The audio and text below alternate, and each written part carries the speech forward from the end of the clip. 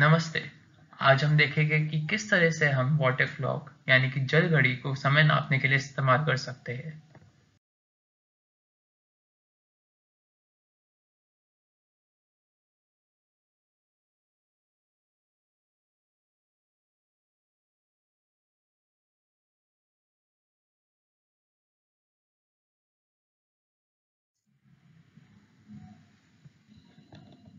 प्राचीन समय में लोग रेत सूरज की किरणें, पानी तथा अन्य चीज़ों का बड़ा चालाकी से इस्तेमाल करके समय का ज्ञान रखते थे।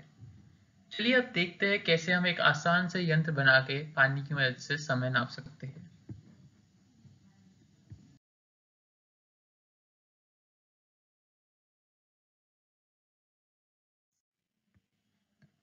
इस घड़ी को बनाने के लिए आवश्यक चीज़ है। एक खाली जार, प्लास्टिक कप, एक छोटी घंटी डंडिया, कंपस या सुई, पानी की बोतल और एक प्लास्टिक कैप या ढक्कन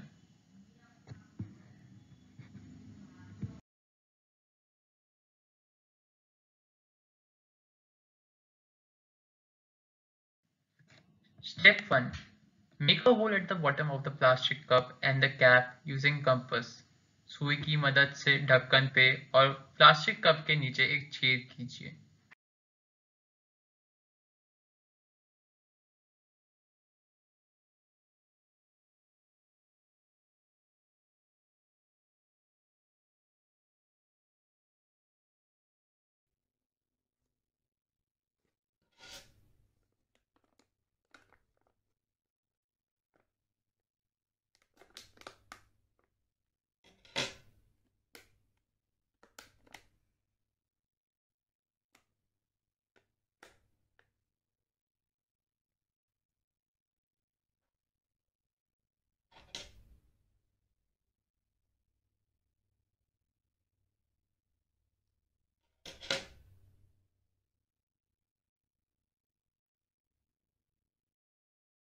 Step 2.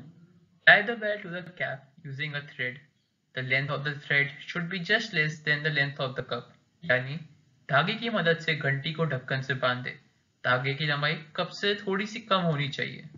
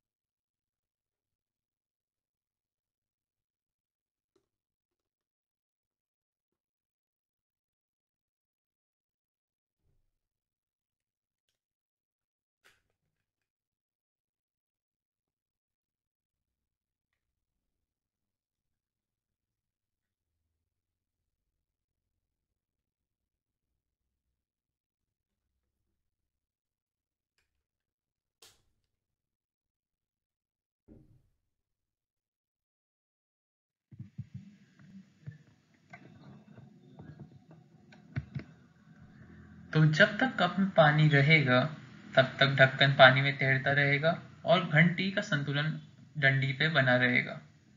लेकिन क्योंकि हमने धागे की लंबाई, कप की लंबाई से थोड़ी कम ली थी तो जैसे ही पानी खत्म होने वाला होगा, घंटी कप में गिर जाएगी और हमको पता लग जाएगा कि हमारा समय पूरा हो गया।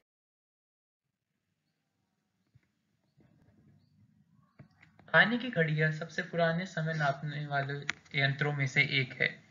यह एंशियंट इजिप्ट ग्रीस और चाइना में 4000 सालों से इस्तेमाल होती आ रही है।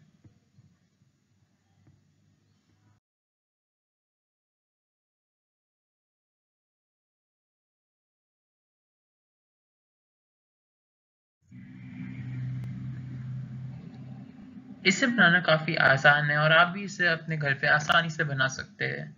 धन्यवाद। आशा करता हूँ आपको ये वीडियो पसंद आया।